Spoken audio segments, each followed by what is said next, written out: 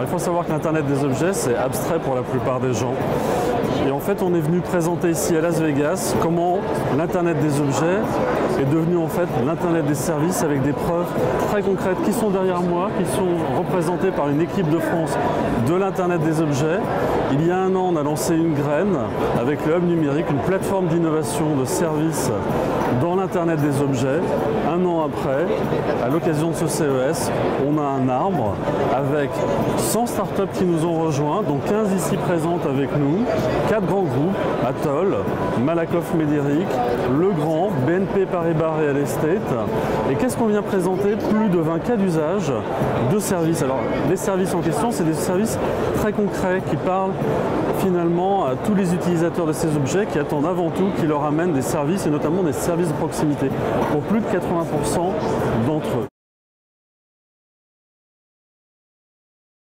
Alors les grandes entreprises, on est dans des logiques de partenariat et pour les startups, on a lancé un concours d'innovation sur cinq régions. L'Île-de-France, le Nord-Pas-de-Calais, l'Aquitaine, le Languedoc-Roussillon, le Val-de-Loire, enfin les Pays de Loire, avec la Cité de l'Objet. Et on a finalement agrégé plus de 450 startups. 100 été retenues dans ce concours d'innovation, 15 sont présentes avec nous à Las Vegas. On les soutient financièrement, on leur fournit un appui en termes de communication, notamment avec euh, ce stand. On leur fournit aussi nos plateformes numériques gratuitement pendant deux ans. Et chacune de ces startups qui proposent des, gobelets connectés pour des personnes âgées, par exemple, ou des systèmes de gestion de l'énergie pour faire des économies d'énergie, ou des systèmes autour du bien-être, par exemple un pommeau de douche ou un collier pour chien euh, connecté, ou un purificateur d'air euh, connecté, combinés entre eux peuvent amener des services très simples. Par exemple, euh, on en a profité aussi, nous, la Poste, pour lancer et présenter un service innovant, le Domino Connecté, un objet connecté qui est présenté ici par six facteurs à Las Vegas avec nous. Très concrètement, vous mettez ce domino sur votre boîte aux lettres connectée, enfin sur votre boîte aux lettres, du coup vous la connectez. Vous partez le matin travailler, vous mettez un objet euh, que vous voulez envoyer dans la boîte aux lettres, vous appuyez sur le bouton et le facteur s'occupe de tout le reste.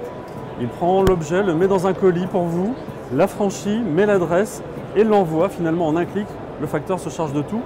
L'Internet des objets, c'est surtout un sujet qui consiste à simplifier des services pour les rendre plus accessibles.